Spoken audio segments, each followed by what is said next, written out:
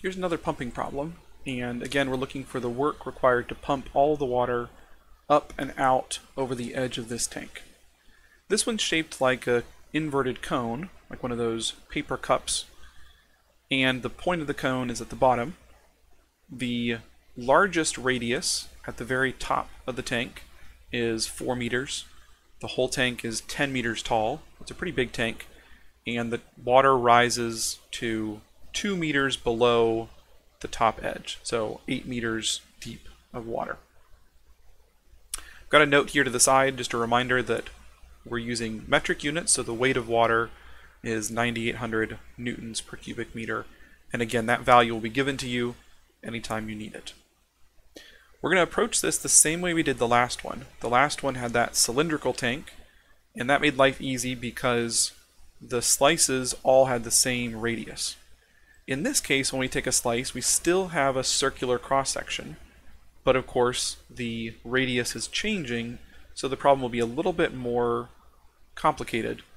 But as long as we're careful and we apply some of the things that we learned with areas and volumes, this won't be too hard to work with. We're going to approach it the same way. We've picked out a slice. We're going to find the force or the weight of that one slice, which will be the 9800 times the volume.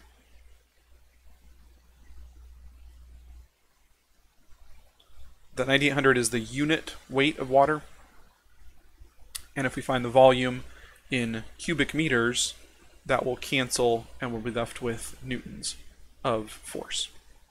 So it's really a matter of finding the volume of a given slice. This radius here, last time the radius was just a constant 12, but now this radius is changing. If you think about this, as you take different slices, if you take a slice at the bottom of the tank, for instance, that radius would be zero because there's just a point. If you take a slice at the very top of the tank, there isn't any water there, but if you did, the radius would be 4, 4 meters. And then anywhere in between, it will be somewhere between 0 and 4. But notice carefully that the radius is changing linearly. It's a straight line from the bottom to the top, and so that radius is going to change as a linear function.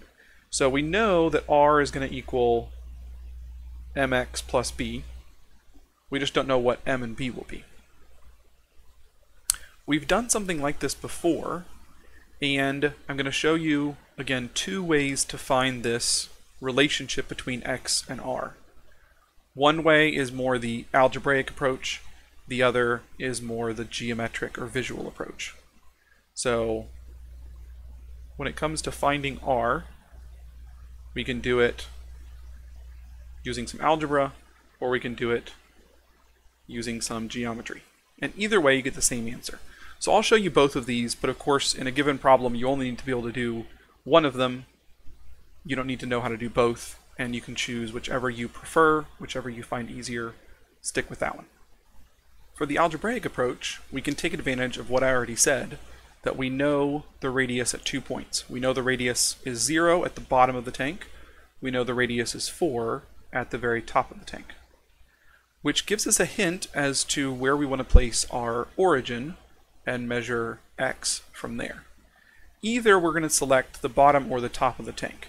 In this case, selecting the top of the water would not be as helpful because we don't really know anything about that point other than it's two meters below the top of the tank. We don't have information about the radius there that would be useful to us in our approach here. So we could still select the top of the water, but it wouldn't be convenient. It wouldn't be the easiest thing to do. So it's easier if we select either the top or the bottom of the tank as our origin. I'm going to select the bottom, and I'll show you why in a second. Either way will work, but I'll select x starting at the bottom and measuring up from there. So when we take a slice, that slice will be at some location x, where x could be somewhere between 0 and 8, where the top of the water is. Okay. The reason I'm doing that is that now we know the radius at two values of x. If x equals 0, we're at the bottom of the tank, and r also equals 0. At that point, the radius is 0. The other place we know is when x equals 10 at the top of the tank, the radius is 4. And now finding this linear relationship between x and r is relatively simple because we already know the intercept b, because we know when x equals 0, r equals 0. So we know that the intercept b will just be 0. And then thinking of r as our y value, we can find the slope m by using the change in r divided by the change in x. So we know m equals change in r over the change in x. The difference between the two r values is 4. The difference in the two x values is 10. And of course we need to make sure to subtract in the same order. And so we get, if we simplify, 2 fifths. So r equals 2 fifths x. If that went too fast for you, you can go back and try it again.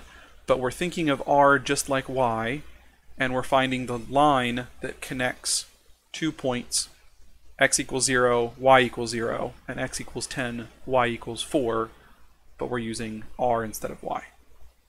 This is why I selected the bottom of the tank, because it just makes life a little bit easier in that the intercept is 0. If I had selected the top of the tank, we would have this a little bit reversed. We would use the points 0, 4, and 10, 0. In other words, these r values would be flipped. And we could do the same process, but then b would not be 0. B would be 4, and the slope would be negative 2 fifths. So you can do that and it works out the exact same way at the very end. This just saves a little bit of effort with a little bit of cleverness. So again, I don't want to harp too much on where you pick your origin. Either the top or bottom of the tank is usually the best option, but you are free to use any of them, and you, as long as you're careful, you'll always get the same answer. It just may be that one is slightly more convenient than another in very small ways. So that's the algebraic approach, and some of you may find that to be easiest, just to think about how to find this relationship between the radius and the position of the slice. The geometric approach uses similar triangles. We've talked about these before, but if you draw a side view of the cone, it'll look kind of like this, where I've drawn a center line for it. In other words, it looks like a triangle, and the radius here, at whatever value of x we choose, we can measure the radius.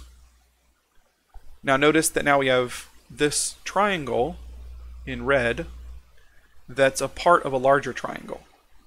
And that larger triangle has a height of 10 and a length or a width at the top of 4. So in other words, this r is similar to the 4, the x is similar to the 10, so you can write something like r over x equals 4 over 10, or some other arrangement of these similar sides, and then you can solve for r by doing this, multiplying x on both sides, and of course that again simplifies to 2 fifths x. Again, if you were to set up your x value starting at the top of the tank. You could still do this process, but now the length of this shorter side of a triangle, instead of just being x, would be 10 minus x, because x would be this distance right here.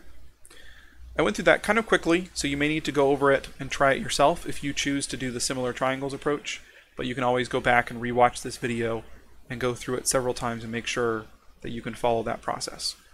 All you need to know how to do is either the algebraic approach or the geometric approach, whichever you prefer, as long as you can get this relationship between x and r. That's really the hardest part of this problem. Once you have that figured out, everything else is relatively simple, and it's just a matter of carrying through the work and doing the integral carefully. So let's continue on. We now know the radius is 2 fifths times x.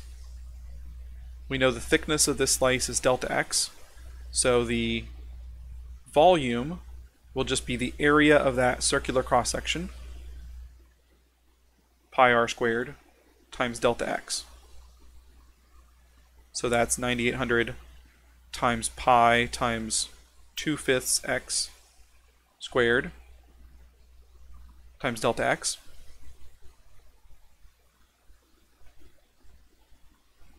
So just to clean this up a little bit, I'll write 9800 times 4 over 25 times pi x squared delta x.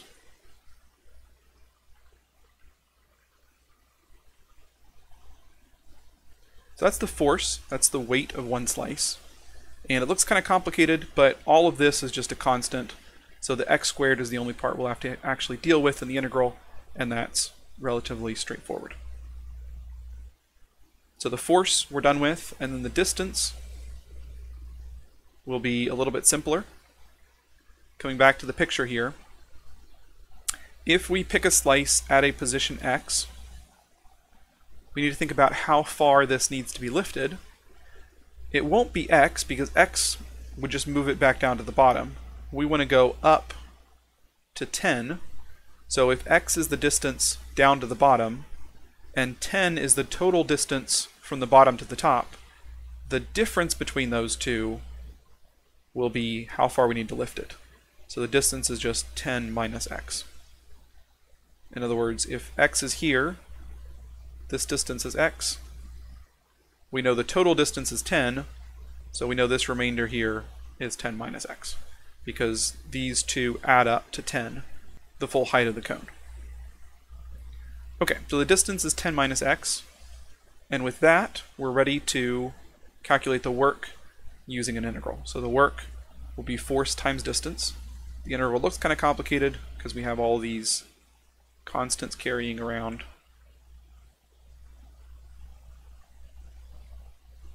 But notice we're just taking that big expression for force, multiplying it by distance, 10 minus x, and then we move the delta x to the end, and it becomes dx when we integrate.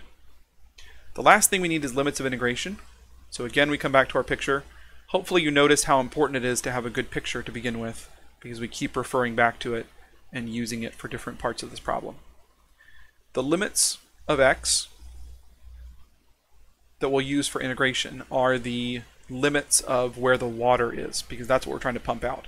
So we'll start when x equals 0 at the bottom of the tank, and we'll end here at the top of the water where x equals 8, since it's 2 meters below the full height of 10. So we'll go from 0 to 8. And we're really pretty much done. There's one step of integration that I won't spend a lot of time on because that's not really our focus, and it's a really simple integration all you'll do is distribute the x squared here and then integrate using the power rule. So if we pull out all of these constants, we can integrate 10x squared minus x cubed from 0 to 8.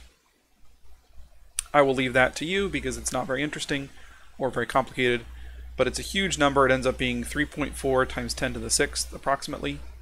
So that would be moving the decimal point six places to the right, and that's in joules again. So the integration is not the focus of the problem. The focus is really the setup, because that's the hard part.